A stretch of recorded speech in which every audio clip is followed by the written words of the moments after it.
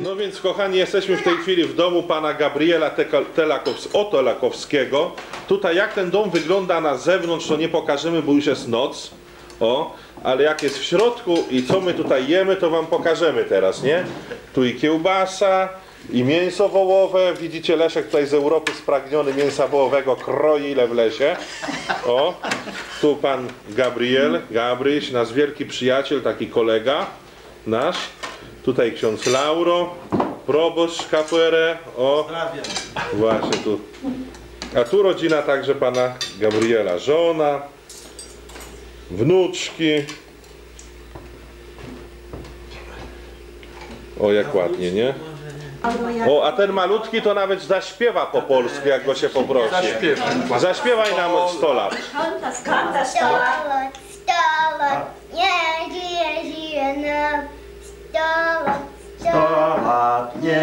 żyje, żyje nam. Jeszcze raz, jeszcze raz, niech żyje, żyje nam. Niech żyje nam. Brawo, brawo. Panie Gabrielu, jak wam się podobało w Cruz Machado? Bo wy żeście do Cruz Machado też pojechali na inaugurację kościoła. Ładnie No, było. Bardzo ładnie, ksiądz ładny kościół wybudował i, i bardzo smaczny obiad był i się ucieszyłem bardzo dużo w podróży i tam i u księdza i u rodziców księdza Laura tam i jeszcze i ojciec płakał jak zajechałem, nie wiem czy ze smutku czy z radości. Nigdy, nigdy nie widziałem, żeby płakał. Pierwszy raz się popłakał. No. Ale łzy leciały. Wzruszył się on i, on i ten, Panie, panie Gabrielu, wy bardzo ładnie mówicie po polsku.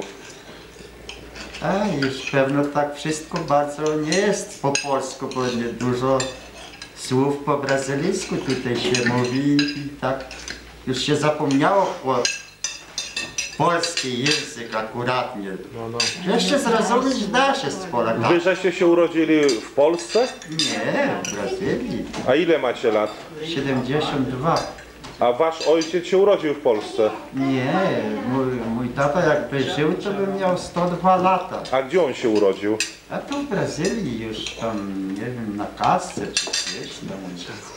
A, kto, a dziadek się urodził w Polsce czy w Brazylii? Tak, dziadek i babka z Polski przyjechali. Ile miał dziadek lat, jak przyjechał z Polski do Brazylii? Tego to ja nie wiem. Nie wiecie.